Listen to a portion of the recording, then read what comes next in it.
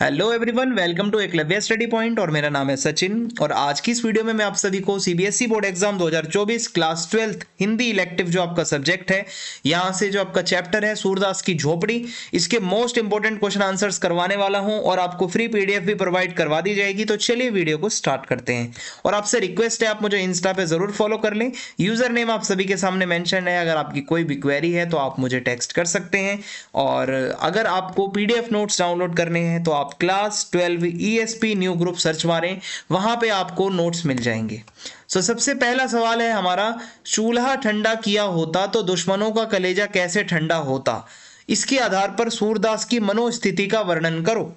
सो so, देखो सूरदास जो है कैरेक्टर है इस स्टोरी का वो एक दृष्टिहीन व्यक्ति है मीन्स वो ब्लाइंड है और वो लेकिन अपने जीवन से दुखी नहीं खुश है। संतुष्ट है, जैसा भी है। वो भीख माँगता है और भीख मांगकर उसको लगभग 500 से कुछ अधिक रुपए जितने भी मिले हैं आज तक वो उसने जमा कर लिए हैं, वो इन 500 रुपयों को एक पोटली में रखता है और ये रुपए चांदी के सिक्के हैं। मींस उसने जितना भी आज तक धन इकट्ठा करा, वो इसने जमा कर लिया।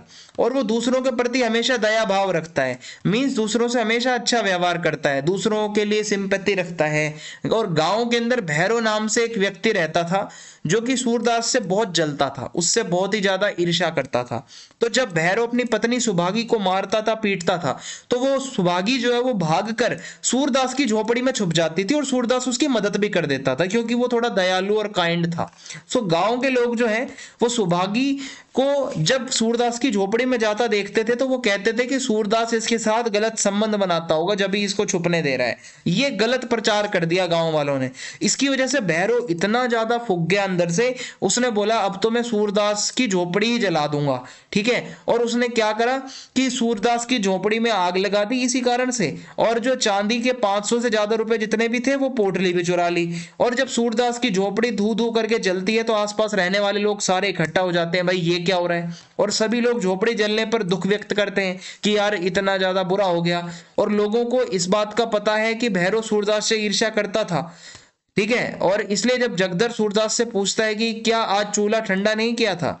मीन्स एक जगदर नाम का व्यक्ति है वो सूरदास को कहता है कि भाई ये आग कैसे लग गई? चूल्हा वूल्हा मतलब जो जलता है उसकी आग तो नहीं है? चूल्हा ठंडा करना भूल गया था क्या? सो so, एक व्यक्ति खड़ा था वहाँ पे नायक राम। वो कहता है भाई सुन चूल्हा ठंडा किया होता तो दुश्मनों का कलेजा कैसे ठंडा होता? मीन्स दुश्मनों का कलेजा तो जल रहा है जब ही उसने जलाया है आके। समझ जाओ बात को इनडायरेक्टली वो क्या कहना चाह रहा है। तो जब आग बुझी तो सभी लोग अपने अपने घर को चले गए, लेकिन सूरदास वहीं बैठकर आग के ठंडी होने का इंतज़ार करता है। और उसे इस बात का दुख नहीं था कि उसकी झोपड़ी जल गई। उसको इस बात का दुख था कि मेरी पोटली चुरा ली यार। मेरे पोटली में मैंने बहुत ही उम्र भर की अपनी कमाई रखी थी।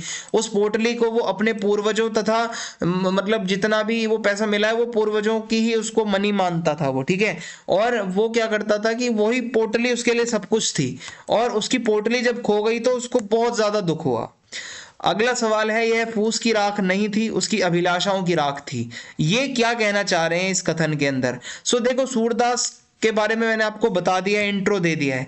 अब ये जो इसकी कमाई के जो 500 से ज़्यादा चांदी के पैसे थे जितने भी, वो भैरव चुरा कर ले जाता है। और इसके अलावा मैं आपको बताऊँ, सूरदास जो है, वो बहुत ज़्यादा इसी बात से मतलब आहत था कि यार मेरे पैसे क्यों चले गए, ठीक है? और वो जब ढूंढता है, उसको कहीं भी वो पोटली नहीं मिलती। ठीक है? वो सिर्फ़ राख ही राख मिलती है उसको वहाँ पे और कुछ भी नहीं मिलता। उसको लगता है अगर पोटली जल भी गई तो चांदी तो मिल ही जाएगी यार। चांदी के सिक्के थे ना यार, कोई नोट थोड़ी थे जो जल गए होंगे। तो वो राख को छानता है पर राख ही राख मिलती है। कभी हाथ में बर्तन आ रहा है, कभी हाथ में ईंट का टुकड़ा आ रहा है पर पैसे नहीं मिल रहे। वो इस राख को कभी यहाँ टटोलता है, वहाँ टटोलता है, जैसे पानी में मछलियाँ टटोल रहा हो। और उसको पोटली कुछ नहीं मिलती हाथ में तो फिर वो निराश और बेचैन हो जाता है। अचानक उसका पैर फिसल गया और वो नीचे गिर गया। और बहुत ज़्यादा चीखा। और वो इसी राख पर बैठकर रोने भी लगता है। इतना बेबस हो जाता है बेचारा। और इसी के बारे में यहाँ पे प्रेमचंद जी कहते हैं, लेखक जो है हमारे, कि फूस की राख नहीं थी, झोपड़ी फूस की होती है ना। कहते हैं, बस उसकी झोपड़ी नहीं जली है फूस की। उस बेचारे की अभिलाषाएँ भी जल चुकी हैं, इसकी झोपड़ी के साथ। फिर है जगधर के मन में किस तरह का ईर्ष्या भाव जागा और क्यों? आखिर जगधर जो एक और कैरेक्टर है इस कहानी का, वो क्यों जलता है और किससे जलता है और क्यों ईर्ष्या करता है? सो जगधर को पूरा विश्वास था कि सूरदास की झोपड़ी में तो भाई भैरों ने ही आग लगाई होगी जगधर भी गाँव का ही एक व्यक्ति है। और ये वो सोचकर भैरों के पास गया तो वो भैरव से कहता है कि लोग तुम्हारे ऊपर शक कर रहे हैं। पहले तो भैरव आग लगाने की बात मानता ही नहीं है। कहता, भाई, मेरा क्या मतलब? मैंने आग नहीं लगाई। परंतु जगदर के सामने वो मानता है कि हाँ भाई, मैंने ही जलाई है। लास्ट में वो फोर्स करने पर बता देता है। तो वो जगदर को वो थैली भी दिखाता है पोटली, जिसमें पैसे थे। जगदर के मन में ये आता है, यार, ये पैसे सिर्फ़ ये लेके गया है, इसका राज तो मुझे भी पता चल गया। अब वो कहता है थोड़े पैसे मुझे भी दे। ठीक है, लेकिन सूरदास कि जो पोटली के पैसे थे तो वो भैरव को समझाता है कि वो पैसे वापस कर दे। पर भैरव कहता है कि मैं बिल्कुल वापस नहीं करूँगा, मैं क्यों वापस करूँ?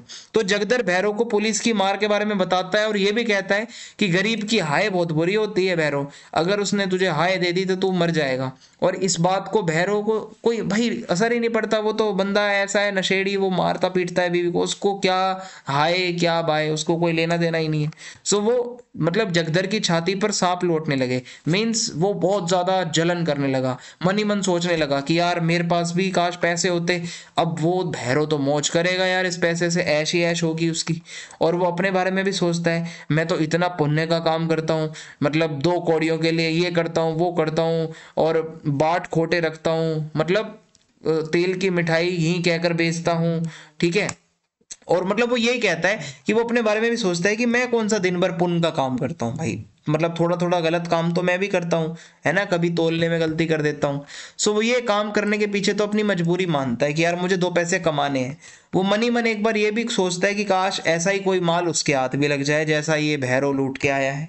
सो वह भैरव की अमीर होने की बात को लेकर जल रहा था, सिंपल सी बात है। और उसके मन में ईर्ष्या का बीज फूट रहा था और वो सूरदास के पास जाता है और उसे बता देता है कि भाई तेरी पोटली जो है वो भैरव के पास है, ठीक है?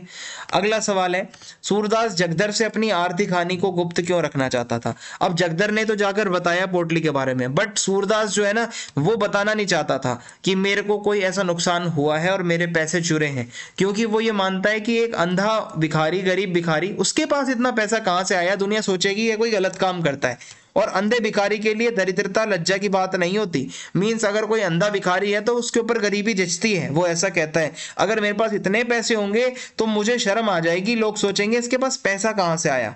तो सूरदास चाहता था कि वो पैसे इकट्ठा करके अपने पितरों का पिंडदान करें, ठीक है, अपना जो बेटा मिठुआ है, उसकी शादी करें, और गाँव के लिए कुआँ बनवाए। ये तीन उसकी अभिलाषाएँ थी, ठीक है? और क्या होता है, वो लोगों को ये एहसास करवाना चाहता था कि गरीबों की सहायता ईश्वर अपने आप करता है। ठीक है? और उसका मानना था कि अगर भिखारी धन संचय करेगा तो लगेगा कि वो कोई पाप कर रहा है। क्योंकि भिखारी अगर पैसा इकट्ठा करता है तो वो पापी कहलाता है। लोग गलत नज़रिए से देखेंगे। इसलिए वो जगदर को ये विश्वास दिलाना चाहता था कि मेरे पास कोई पैसे नहीं है, ना मेरी कोई पोटली लूटी गई है भाई तो चला जाए यहाँ से। उसका मूड खराब होता है सूरदास का। अगला सवाल है, खेल खेल खेल में रोना कैसा? खेल हंसने के लिए, दिल बहलाने के लिए, रोने के लिए नहीं है। और इस कथन के आलोक में सूरदास का चरित्र बताओ कैसा है? तो देखो, सूरदास की झोपड़ी भैरों ने जलाकर राख कर दी थी। सारी रात झोपड़ी की राख वो देखता रहता है, छानता रहता है, पर उसके पैसे और उसकी पोटली उसको नहीं मिलती। और जगदर उसे ये यकीन दिलाता है कि तुम्हारी झोपड़ी पूरी मतलब जो है भाई वो सूरदास की जो झोपड़ी है, वो भैरव ने जला दी है और तेरे पैसे भी उसी के पास है। और सूरदास, ये देखो मैंने आपको पीछे बताया है ना जो वही पॉइंट है। इसमें भी आप वो डाल सकते हो कहानी पोटली वाली। तो उसको क्या है कि उसकी अभिलाषाएँ सारी जल चुकी हैं भाई, वो निराश है। वो अपना मन को मतलब एक दिलासा दे रहा है कि ये मेरे पैसे तो थे नहीं। शायद पिछले जन्म में मैंने कोई ऐसा काम किया होगा, भैरो मतलब कि मैंने भैरों के चुराए होंगे, इस जन्म में भैरो मेरे चुरा रहा है, ये उसी का दंड होगा। वो ऐसा सोच रहा है, ठीक है? और उसके ऊपर एक कलंक और लग गया कि ये सुभागी के साथ कुछ गलत काम भी करता है। मन ही मन भाई सूरदास बेचारा पछता रहा है, पैसा भी गया, घर भी गया, थोड़ी इज़्ज़त बची थी, वो भी चली गई, थोड़ी बहुत ज़मीन बची हुई है, वो भी पता नहीं कब चली जाए। तो वो अपने अंधेपन को एक दुख मानता है और कहता है कि अंधापन ही क्या थोड़ी विपत्ति थी कि एक पे एक मुझे चपेट पड़ती जा रही है। मतलब इतना तो अंधा कर दिया, अब हर कोई आता है, चार खरी खोटी सुना के चला जाता है और वो इस दुख के कारण इतना टूट चुका है अंदर से कि वो फूट फूट कर रो रहा है। अब होता क्या है, अचानक उसका ध्यान जाता है कि बीसू मिठुआ के साथ खेल रहा है। मतलब दोनों दोस्त हैं, बीसू और मिठुआ, खीसू या ऐसे कुछ नाम है। वो मतलब खेल रहे होते हैं घीसू और वो खेल रहे होते हैं, और दोनों जो है भाई, वो खेलते हैं कि तुम खेल में रोते हो, ठीक है? अब वो बच्चे खेल रहे हैं, और मिठुआ रोता हुआ घर की ओर चला आ रहा था। तो सूरदास भी निराश था, हताश भी था, चिंता में भी था। और उसे ऐसा लगता है कि मानो उसका हाथ पकड़कर खड़ा करते हुए कह रहा हो कि सच्चे खिलाड़ी कभी रोते नहीं, बाजी पर बाजी हारते हैं, चोट पे चोट खाते हैं, धक्के सहते हैं, मैदान में डटे रहते हैं। ठीक है, उनकी त्योरियों पर बल नहीं पड़ता। ये क्या इसमें बताया जा रहा है कि वो बच्चा होते हुए ये बात कह रहा है कि हार जीत होती रहती है लाइफ में भी, वो सोचता है। और हिम्मत उनका साथ नहीं छोड़ती ठीक है, खेल हंसने के लिए होता है, दिल बहनाने के लिए होता है, रोने के लिए नहीं होता। सो यही सुनकर सूरदास में भी मोटिवेशन आ जाता है और गर्व से खड़ा होकर कहता है कि हाँ मैं फिर खड़ा होऊँगा। अगला क्वेश्चन है तो हम सौ लाख बार बनाएँगे। ये कथन में सूरदास का कैरेक्टर क्या बताता है? तो देखो, झोपड़ी जब जल जाती है, उसकी पोटली वोटली सब चली जाती है, सूरदास के अंदर एक अलग ही फिर एक मोटिवेशन आता है, वो उठ खड़ा होता है और अपने दोनों हाथों से राख को उड़ाने लगता है और वहीं घीसू और मिठुआ के साथ, सभी आकर सूरदास के साथ राख उड़ाने लगते हैं और वो सूरदास से बहुत प्रश्न करते हैं, सभी बच्चे खड़े होकर। ठीक है, राख ही राख हो जाती है चारों तरफ़। और मिठुआ कहता है कि, दादा, अब हम रहेंगे कहाँ? सूरदास कहता है कि दूसरा घर बनाएँगे बेटा। अगर फिर किसी ने आग लगा दी तो दादा? मिठुआ कहता है तो सूरदास कहता है तो फिर मैं घर बनाऊँगा। हज़ार के बाद सौ लाख बार अगर हमारा घर जला दिया तो क्या करेंगे दादा?